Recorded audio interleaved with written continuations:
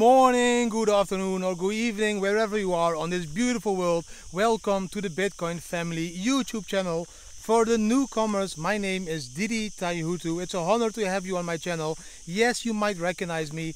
I am the guy that with his family three and a half years ago sold literally everything he owned his house his cars his companies his bikes my wife's 70 pairs of shoes we went all into Bitcoin and started traveling the world. Now three and a half years later, we are still all into Bitcoin and still traveling the world. Now coming to you guys from the bushes here in Alicante, Spain. In today's really cool video, it's an awesome video, believe me, you need to watch it all the way. We are going to talk about really cool charts that are showing you exactly what is happening in space at the moment. We are also going to take a look to the, into the peer-to-peer -peer trading volumes because they are going insane in some parts of the world also sharing with you guys why the one of the biggest exchanges Kraken thinks we might go up with 200% in the next couple of weeks slash months. 200% by Kraken. They have a lot of data. They know what they are talking about. And taking a peek into this really cool South Korean blockchain that is now providing people of a digital driving license. And I will end the video guys by talking about Chainlink, trying to educate you what Chainlink is and why this price has been going up tremendously the last couple of weeks.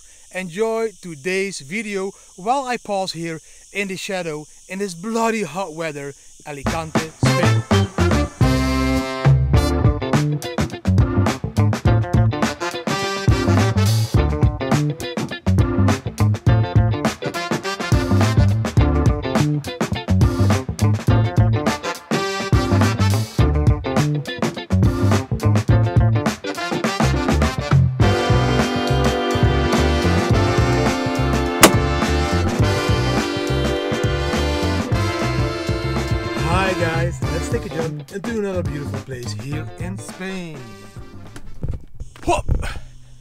And again, a beautiful place here in Alicante, Spain. Bushes. I feel like Steve Irwin, where we are going to hunt for these very dangerous animals. But instead, I'm just talking about a very cool project called Bitcoin, Blockchain and Life. Yesterday guys I was listening to this beautiful Bob Marley music again. I listen to Bob Marley a lot of times because I just like his lyrics. I like the way he sings about life. Like don't worry about a thing because every little thing is gonna be alright. Don't worry if you see a dip to 11k or 10,500 US dollar in Bitcoin because every little thing is gonna be alright. I think a better song for this temperature is The sun is shining, the weather is sweet Makes you want to move your dancing feet To the rescue, here I am My name is Bitcoin Yes, you can trust me, yes you can I love to create these lyrics, these Bitcoin lyrics instead of the original Bob Marley lyrics. Um, so yes, to the rescue, here I am. My name is Bitcoin and you can trust me. Yes, you can. And yes, I won't sing too often because I know that that exactly is not my talent. But guys, I need to entertain you guys because else I would be this YouTuber sitting behind the boring desk talking to you about some stuff in Bitcoin, blockchain and life and I prefer to entertain you a little bit so let's start to talk about Bitcoin today. The most important thing in Bitcoin price today is that we break 12k. Like you can see on this chart, bam, yes, directly beginning with all the charts, like you can see on this chart, you can see this red line, horizontal line, that is exactly at the level of 12,000 US dollar Bitcoin you can see that we have been fighting this level for many weeks and months on the chart.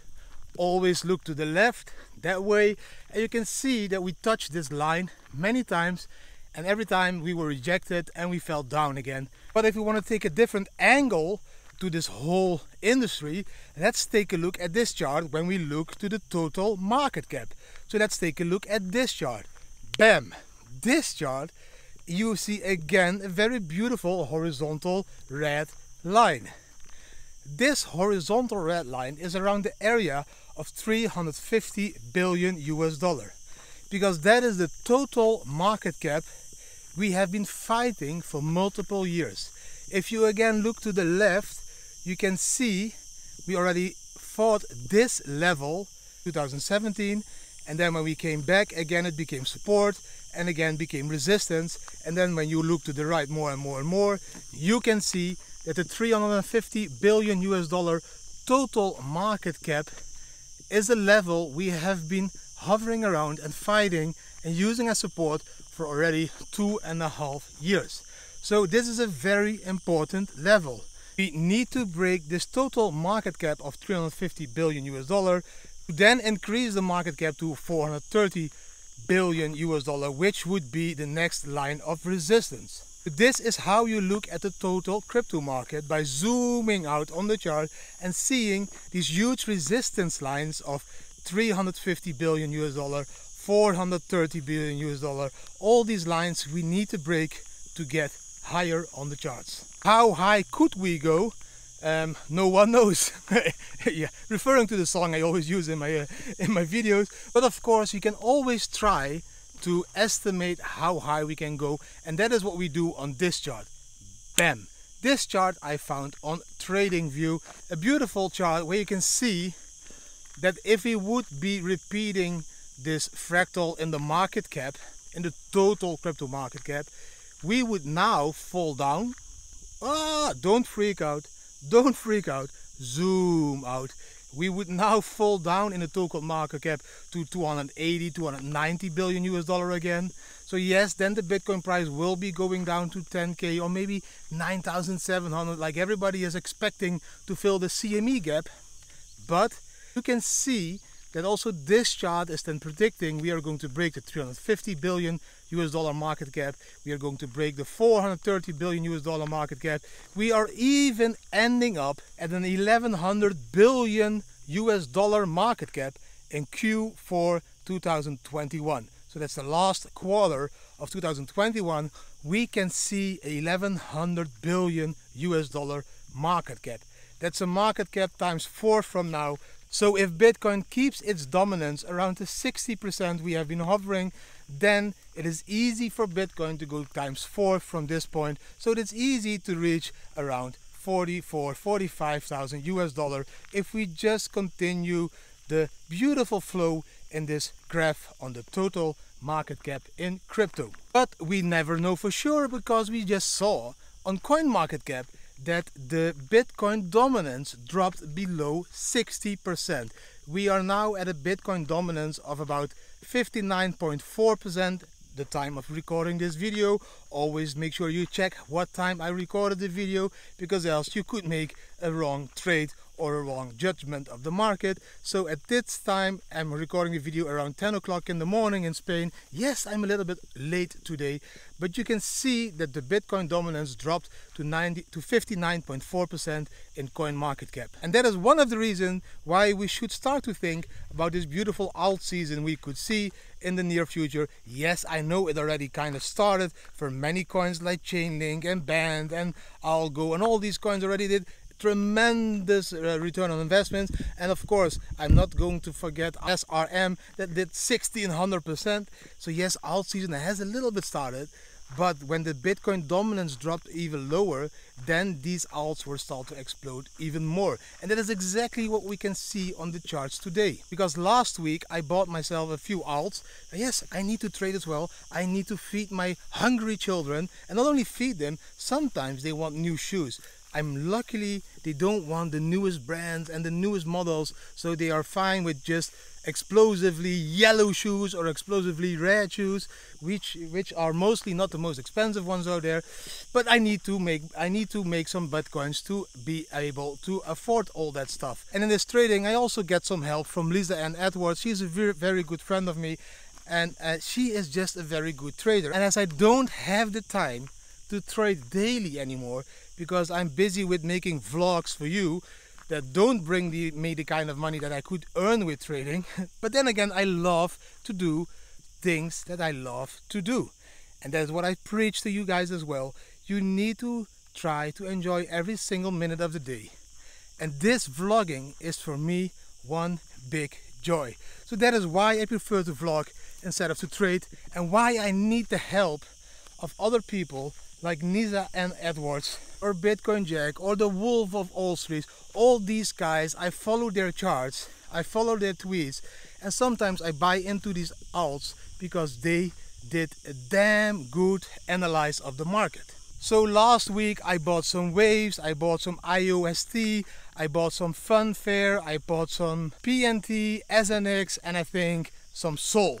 Keep the soul alive. Yes, I bought some soul as well. So I started to invest in these alts last week till I think yesterday or the day before I still added some more to these alts and they are all in profit more than 30 to 40 percent so this is an indicator to me that indeed this alt season is slowly starting we can slowly look forward to these insane bull runs we have seen now in SRM of 1500% and we can slowly start to look forward now to see many more of these beautiful bull runs all the way up to 400%, 600% and this is how we multiply our Bitcoin stack. And then and again, when we increase our Bitcoin stack, Bitcoin will start to fly up to the moon and then again you take your profits over there. So always be aware that if Bitcoin starts to run, I keep repeating it because I think it's very important.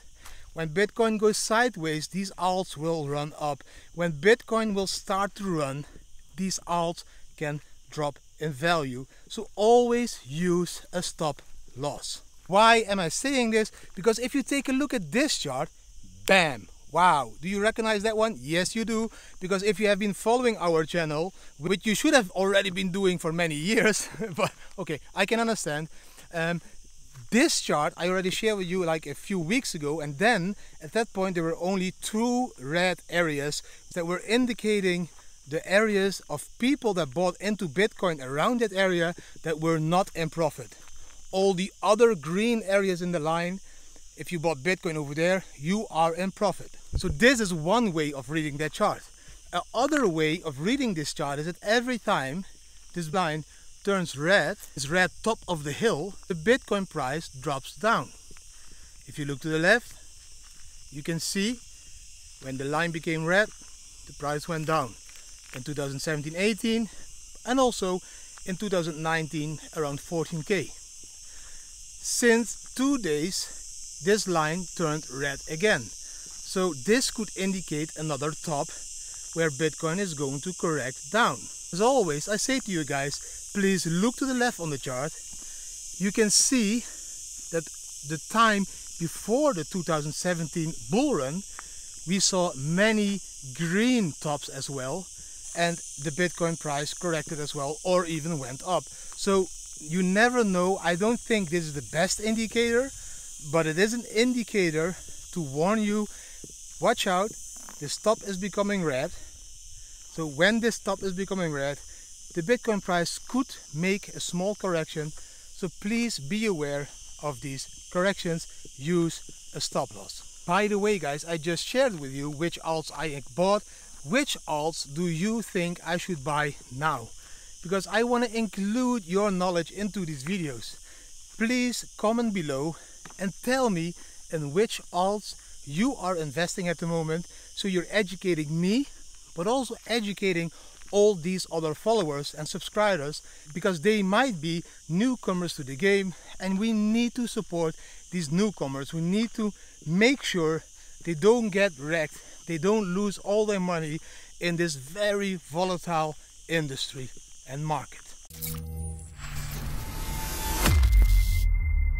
Are you liking the video till now? I am sweating again, it's bloody hot. If you're liking the video, please give the video already a thumbs up, share it already with your communities, subscribe to the channel and hit the notification bell. So please do this because the YouTube algorithm likes this when people hit the thumbs up button and when people subscribe to your channel. I like it of course as well, but I want to monetize this channel more and more and more so we can start to give away the profits that we are making with this YouTube channel. Because for the newcomers, I started this YouTube channel only with two reasons. One reason to prove to my children that a 42 year old could monetize his skills by just walking every day, talking to a camera and editing the video and publishing it online on a YouTube channel and then make money. I want to show my kids that it is possible to make money in every kind of way if you just go for it.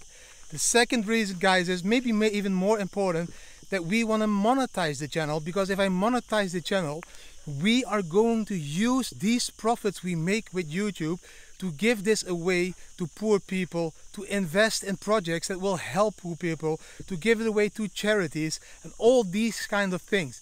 And yes, we are going to be transparent and yes, we are going to create videos about this because in my opinion, if I start to make videos about this, you will see what we are doing as a family, that we are leading by example, that it is not only about accumulating wealth, but also about sharing wealth. So then we make a video, more people will see that we give away, more viewers will come again, we can earn more, we can give away more, and we create a cycle where we will become one big Bitcoin family that is there to share and care for other people in the world.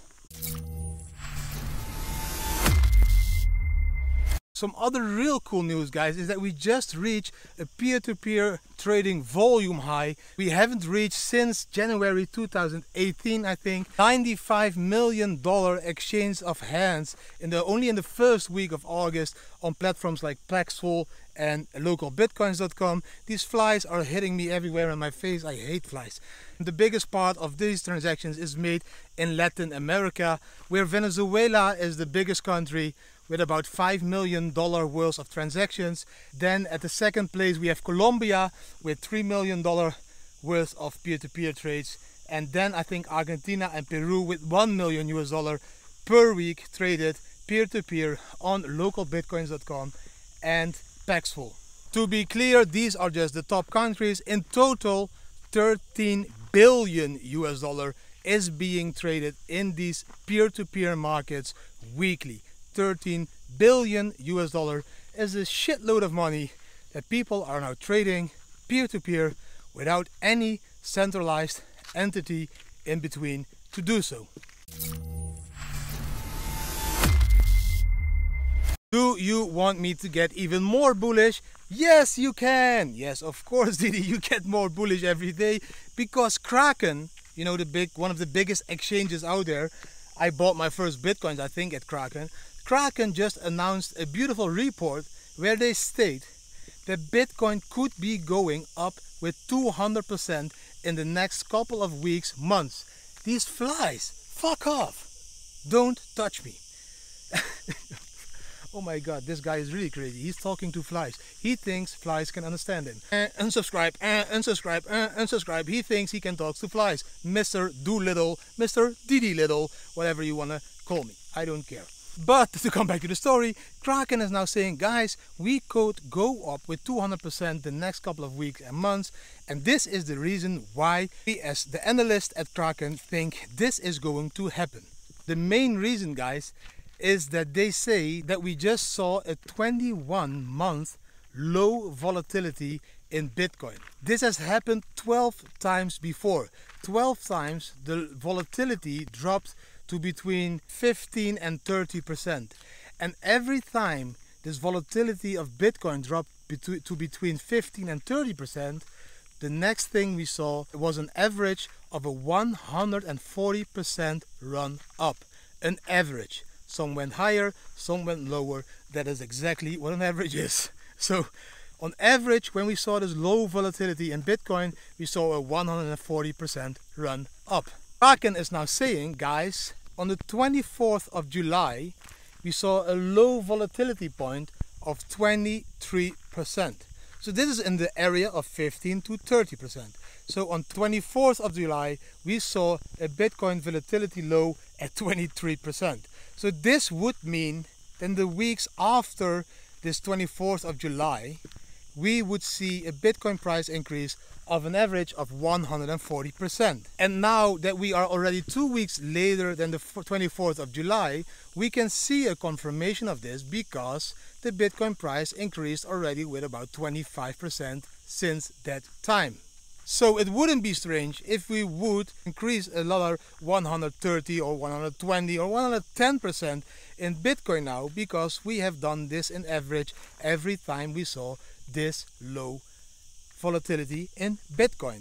And to top it up, to become a little bit more bullish, Kraken is also stating, guys, August is the third most volatile month of the year. In average, August had a volatility of like 88%, which means that in the month of August, the price in average changed about 88%.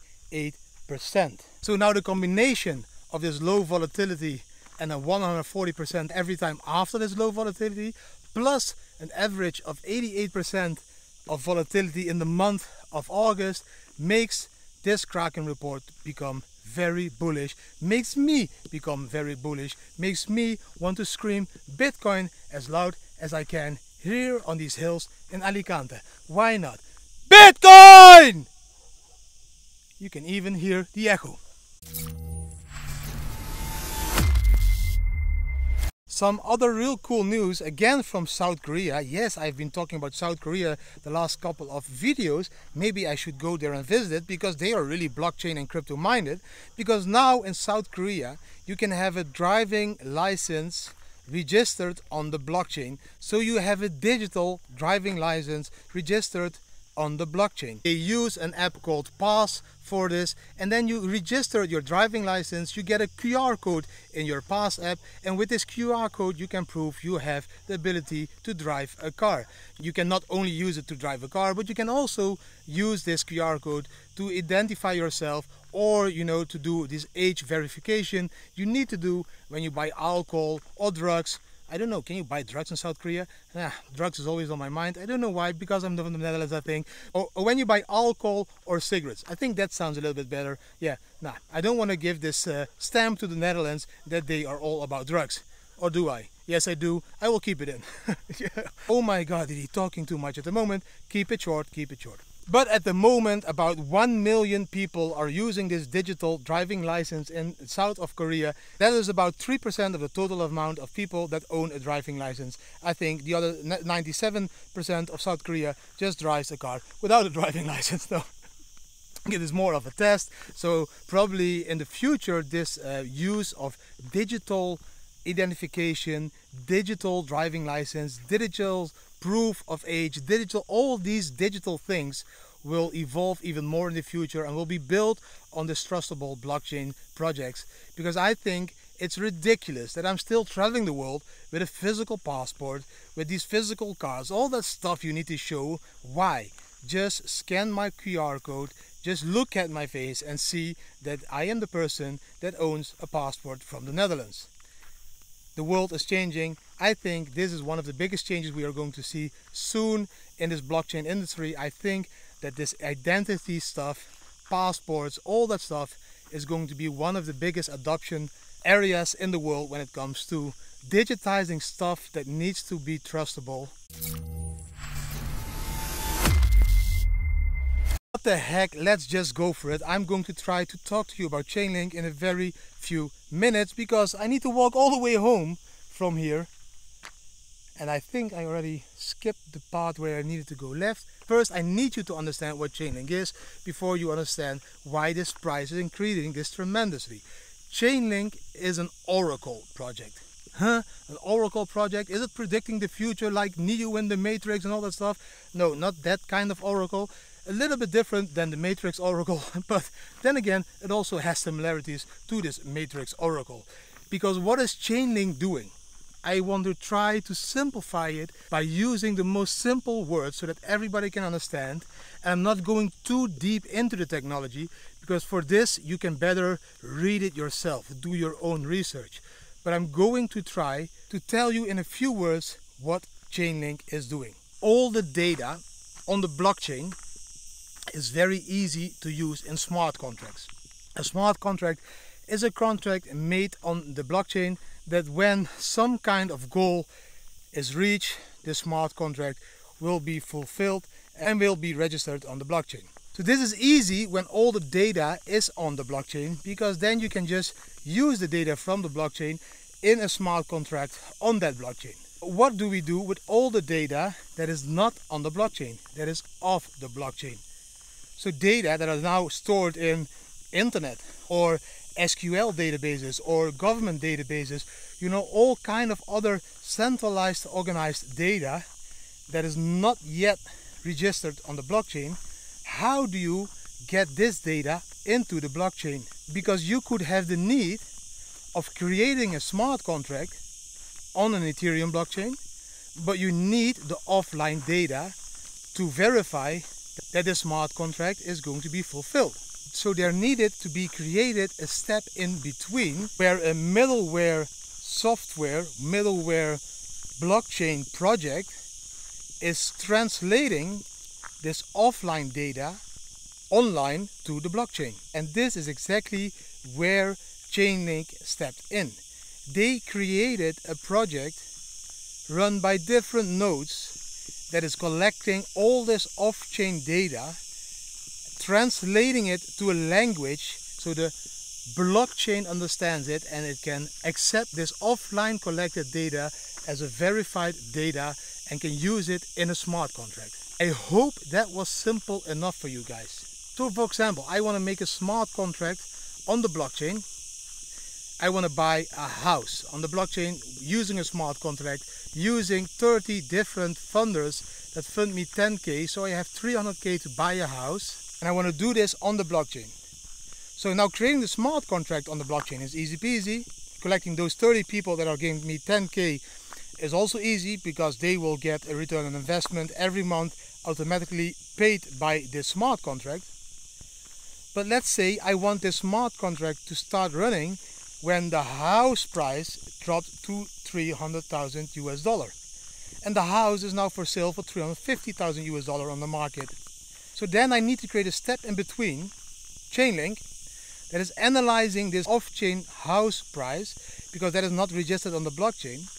And then when Chainlink is analyzing this daily and seeing that the house price is dropping to 300,000 US dollar on the housing market. It will verify this by multiple nodes, so we don't have a problem of a centralized node that may be corrupt. So it verifies this in a very cool technical way, sends this to the blockchain, and then the smart contract buys the house for 300,000 US dollar, and then the contract starts, and I'm paying my interest monthly automatically by using a smart, con smart contract to those 30 people that borrowed me the 10k per person. This is kinda an example that I now can think of at the top of my head. If you have another example, please comment below. Just give a practical example of how it could be used in the world and between all those people that give me a practical example of how these Oracle projects are going to connect off-chain data to on-chain data I will give away another Bitcoin t-shirt, but this time not randomly. I'm going to give the t-shirt to the one that gives me the most creative solution in the comments below. So start to think now, you need to think. I want to include you more and more into my videos because I want to share your knowledge as well. Ooh, sweaty, wet, Plan B is now soaking wet. Yes, it's time for Plan B all over the world. Also these shirts, you can buy them online in really cool t-shirt stores. Also my store sells a lot of shirts and caps, so take a look at these stores. This was the video for today guys. I hope you will comment below and give me the answers to the questions I asked you guys. And if you like the video, please give the video a thumbs up, share it with your community, subscribe to our channel, hit the notification bell so you'll be notified on every new video and please leave a comment. If you are not able to hit the notification bell, you need to unsubscribe and then subscribe again and then you will be able to click the notification bell. And all of you, please remember to always zoom out in crypto and to zoom in at life. Try to enjoy every single minute of the day because this is exactly why life is worth living. Oh yes, I and I completely forgot I had a crazy cool conversation yesterday with Scott Melker, the Wolf of All Streets. We did a podcast and a video interview, which will probably be live next week somewhere. So I just wanted to let you know because I think it was a really cool, really insightful conversation and I think you will really like it. So you have a heads up, you're the first to know it's going to be a kick-ass podcast next week.